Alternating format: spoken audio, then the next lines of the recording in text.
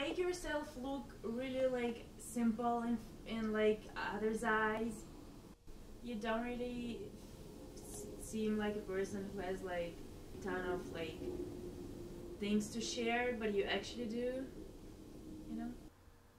Um, my name is Liz. And, um, when I was little, I couldn't say like my whole name, Elizabeth. So they just went for the easier option and started calling me. I know on the outside, I feel like I'm pretty good at doing like an exterior of like being super laid back, but like on the inside, I'm like I feel like I I'm not that much. Like I get like agitated and bothered like really quick. I do like spending time with others. Like I, I know I'm like alone. Like I really like to be alone too a lot, but definitely not all the time because then you get sad. Um, I was just like, I just felt like so caged and trapped in those tiny little like dorm room things and that I just started like missing my home and like just like the warmth and like the love. I guess it just felt like hollow inside. I guess. And, but yeah, no, that actually that got me my first of the capitol of Madison. A lot of people think it's a spaceship or like that's not done. It is not a spaceship.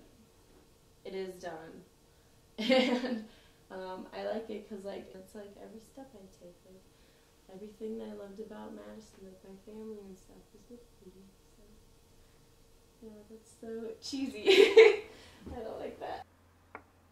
Like my best friend's dad had died when we were in eighth grade, no, in sixth grade, seventh, one of those ones. And I was at school, and then like all these, I just remember like all the candles were like blaring because like uh, we were like, of course, in a church trying to make this as sad as possible, which was so annoying. I didn't want anyone to see me, so I just started running like out of there.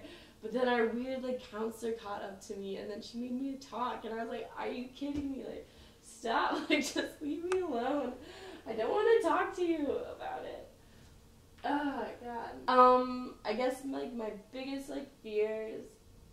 I don't really know. I just don't want to like disappoint anyone, like my family, because I really like them.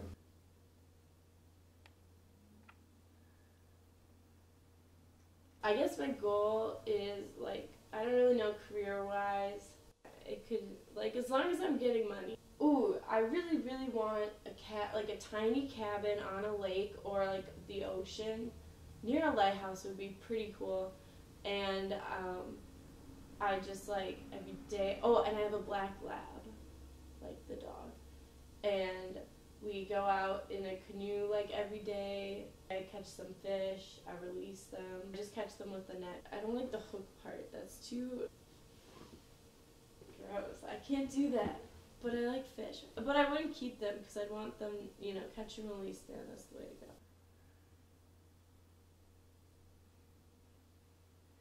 When I was in second grade, they called me Otter Girl because I asked everyone to.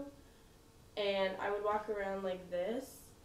And yeah, that was kind of weird. I don't know why I did that.